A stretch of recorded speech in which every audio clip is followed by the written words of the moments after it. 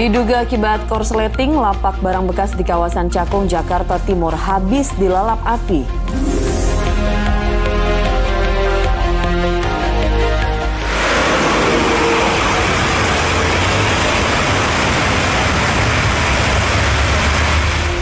Papan baliho roboh dan belasan rumah warga rusak setelah angin kencang menerjang wilayah Klaten, Jawa Tengah.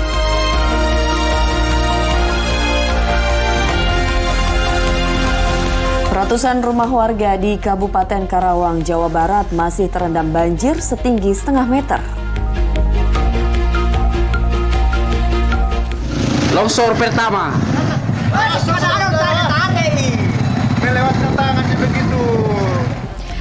Bencana tanah longsor melanda sejumlah wilayah di Indonesia hingga membuat akses jalan terputus.